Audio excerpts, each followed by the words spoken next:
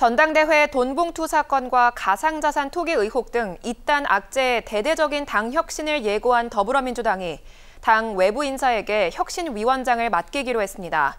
하지만 내정된 인사의 과거 발언이 논란이 되면서 비이재명계 일각에서 벌써부터 내정을 철회하라는 요구가 불거지고 있습니다. 배혜수 기자입니다. 더불어민주당이 당 혁신기구 위원장에 외부 인사를 영입했습니다. 이재명 대표는 당 최고위원회의에서 사단법인 다른 백년 이래경 명예이사장을 혁신기구 책임자로 모시기로 했다고 밝혔습니다. 그러면서 명칭과 역할을 전적으로 맡기고 혁신기구가 마련한 혁신화를 존중하고 전폭 수용하겠다고 강조했습니다. 민주당은 전폭 수용의 의미를 묻는 질문에 전권을 위임한다는 뜻이라고 밝혔습니다. 사실상 비이재명계의 요구를 대폭 수용했다는 설명입니다. 이 위원장은 지난 1983년 전국 민주청년학생총연맹 발기인으로 당내 최대 계파인 김근택의 인사로 분류됩니다.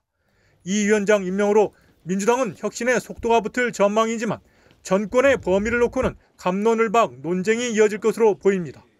특히 총선 공천권 포함 여부에 대해 친명 비명 간 시각차가 커 이 부분이 계속 갈등의 뇌관으로 남을 전망입니다.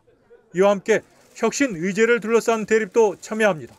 친명계는 대의원제 축소 폐지를, 비명계는 팬덤 정치 청산을 각각 앞세우고 있습니다. 여기에 이 위원장이 과거 경기도지사 이재명 지키기 범국민 대책위에 이름을 올린 적도 있어 비명계가 혁신위원장으로 흔쾌히 받아들일지도 의문입니다.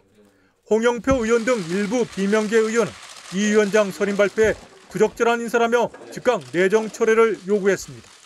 이 위원장이 SNS에 천안함 자폭설 등 음모론과 반미 성향글 등을 다수 게재한 점도 논란을 불러일으키고 있습니다.